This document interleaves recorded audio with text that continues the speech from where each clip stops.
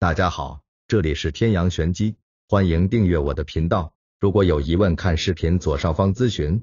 我们来看这个手相案例，左右手形态和纹路相差无几，这种左右手保持一致的人，先天和后天运势起伏少。手型来看是典型的土长，土长人稳重传统，喜好大自然和户外，是个典型的实干家。指节间也见米糠竖纹，凭借土人的勤劳，小康生活不愁。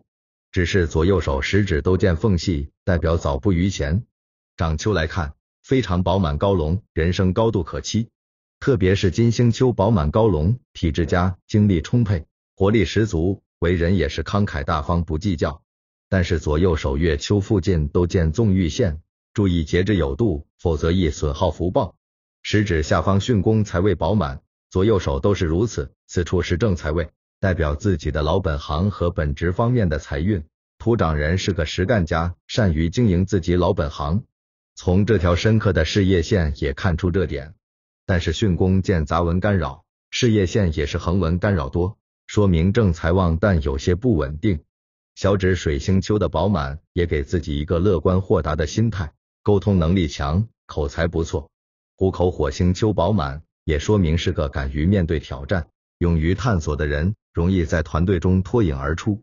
只是左右手纹纹路偏深刻，有些是毕恭亲偏劳碌，注意劳逸结合。左右手对比来看，右手脑线和生命线粘贴更少，说明后天处事更加放得开手脚。右手甚至有川长的格局，川长人独立能力强，格局开阔，敢闯敢干，利于事业。虽然是川长。但生命线和脑线似乎也有些粘贴，既有川长人的独立，也对父母和原生家庭心怀感恩，独立后反哺父母。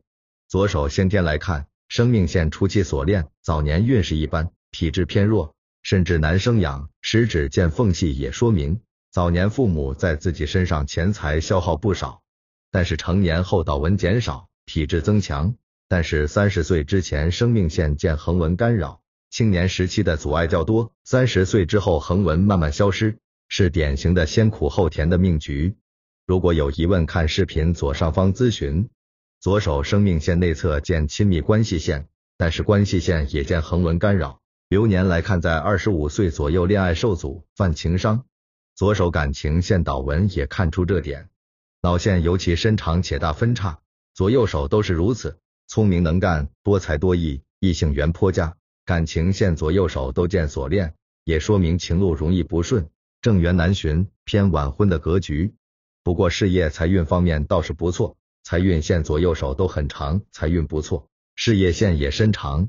这是右手事业线尾端有减弱的趋势，说明进入婚后事业心减弱，经济多依赖于另一半，自己回归家庭，相夫教子。左右手都有元宝纹，这是人生的元宝财库，是由事业线。脑线、生命线和财运线共同组合而成，但是元宝财库由于掌底见开口，财库易漏财，加上财运线还是见断续，财运时好时坏，需补充财库才能化解。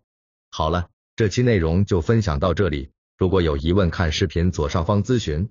这里是天阳玄机，您的点赞和关注是我更新的动力。